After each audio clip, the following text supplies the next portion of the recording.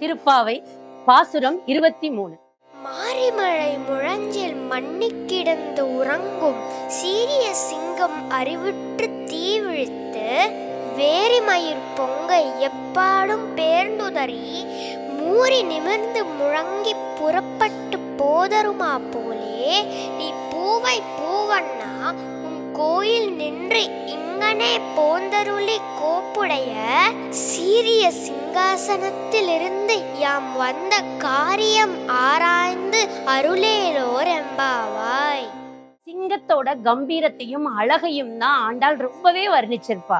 அதனால இந்த பாட்டுல முழுக்க முழுக்க சிங்கத்தை வந்து காமிச்சிருக்கிறோம். நடுவுல நரசிம்மரை நிப்பாட்டி இருக்கிறோம் ஏன்னா பெரும்பாலும் நரசிம்ம அவதாரம் எடுத்து நின்னார் இல்லையா?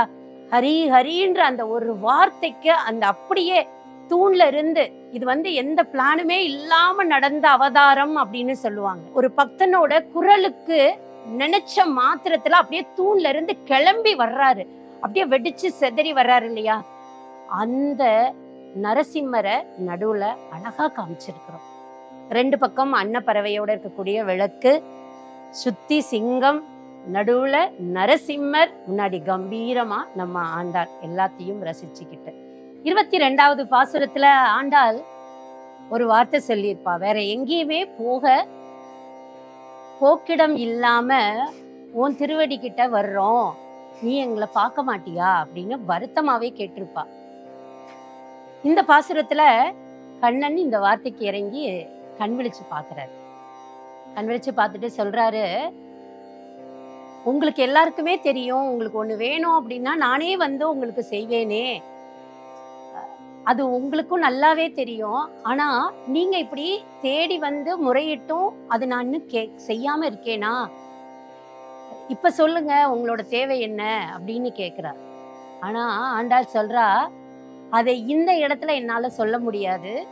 இது வந்து உன்னை தேடி நாங்க வந்து ரகசியமா இருக்கிற கூடிய இடம். அதாவது அவங்க வீட்டுக்கே வந்தாச்சு.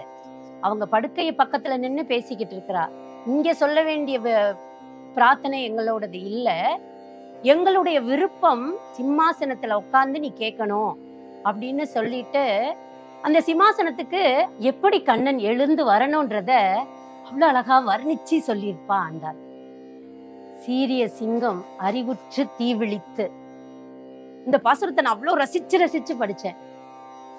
ஒரு சிங்கம் எப்படி இருக்குமா? மழை காலத்துல குகைக்கு உள்ள இந்த பாசுரத்துல ஒரு வரி வரும். பேடை அப்படின்னு. பேடை அப்படின்னா பொதுவான அர்த்தம் என்னன்னா ஒரு பெண் பறவை அப்படின்னு சொல்லலாம். பெண்களை காமனா குறிக்கிறதுக்கு கூட இந்த வந்து பேடைன்ற வார்த்தை சொல்லலாம்.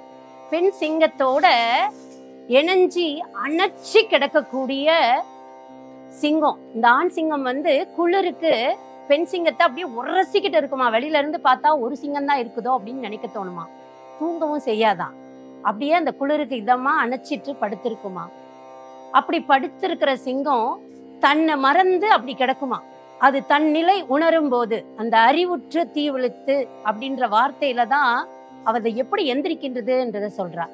நம்ம இப்படி படுத்திருக்க கூடாது நம்ம எந்திரிக்கணும் அப்படின்ற நினப்பு வரும்போது அது அப்படி கம்பீரமா எந்திரிச்சு நிக்குமா? சிங்கத்தோட அந்த கண்ணு அப்படியா நெருப்பு பொறி மாதிரி பறக்குமா? சிங்கம்ன்ற அந்த இனத்துக்கே அழகு வந்து அந்த பிடரி மயிர் அப்படின்னு சொல்லுவாங்க. அந்த பிடரி மயிர் அது அப்படி சிலுத்து விட்டு அது நின்று நாலா பக்கம் அப்படி கொஞ்சம் நடந்து சோம்பலை முறிச்சு அப்படி கம்பீரமா நிக்குமா. அப்படி நீ எழுந்து வரணும். எழுந்து நீ வந்து எங்களை எல்லாரையும் பார்க்கணும். அப்படித்தான் நீயும் அந்த சிங்கம் மாதிரி தான் நீயும். இதுல காயாம்பூ அப்படின்ற ஒரு வார்த்தை சொல்றா ஆண்டாள். இந்த காயாம்பூ என்ன அப்படின்னு பார்த்தா சங்க காலத்துல சொல்லப்பட்ட ஒரு ஒரு விதமான அது ஒரு பூவு.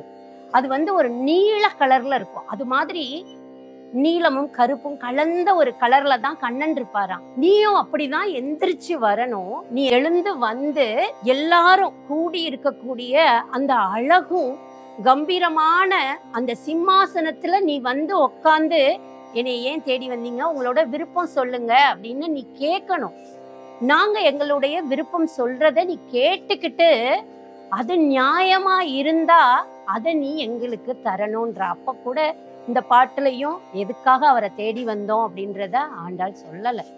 இதுல நாம ரசிக்க வேண்டிய விஷயம் என்ன அப்படின்னா எல்லாருக்குமே அவங்களுடைய அழகும் அவங்களுடைய கம்பீரமும் யாரோ ஒருத்தர் ரசிச்சு தான் சொல்ல வேண்டியிருக்கு. இந்த கண்ணன் நம்ம வந்து நிறைய கதைகள் படிச்சிருக்கிறோம். மகாபாரதத்துல கண்ணனை படிச்சிருக்கிறோம்னா கூட ஆண்டாளுடைய பார்வை முற்றிலும் வேறுபட்டதா இருக்கு. ஆண்டாளுடைய பார்வையில அவ இவ்வளவு ரசிச்சிருக்கா பாருங்க. அந்த கண்ணனை அப்படியே சிங்கமா நினைச்சு நீ இப்படி இழந்து வா.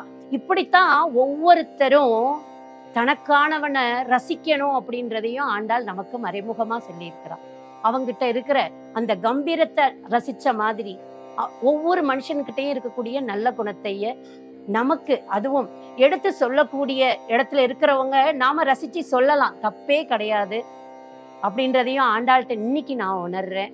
ஏன்னா முதல்லயே சொல்லிட்டா அந்த விஷயம் கிடைக்குமோ கிடைக்காம போயிடுமோன்ற ஒரு பயம் ஆண்டாளுக்குள்ள இருந்திருக்கு. அதனால அவ இப்பவும் சொல்லலை. தன்னுடைய விருப்பம் என்னன்றதை நீ கேட்டு முதல்ல ஆராய்ஞ்சு பாரு.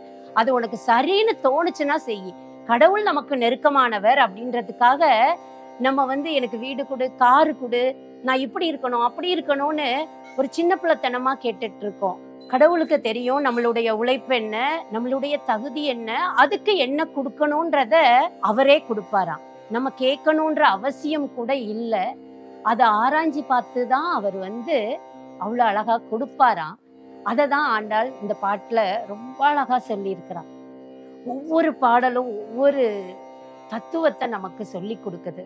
ஆண்டாள் காதலிச்சா கண்ணனை வந்து ரசிச்சு ரசிச்சு எழுதுனா அப்படின்றத தாண்டி ஒவ்வொரு மனித உயிரும் வாழ வேண்டிய வாழ்க்கையவும் இந்த ஆண்டாள் அவ்வளோ அழகா இந்த பாசுரம் ஒவ்வொன்றுலையும் சொல்லிக்கிட்டே இருந்திருக்கிறார் எனக்கு இது ஒரு குழந்தை மாதிரி நான் ரசிக்கிறேன் இது எனக்கு. அதை எப்படி சொல்றதுன்னு தெரியல.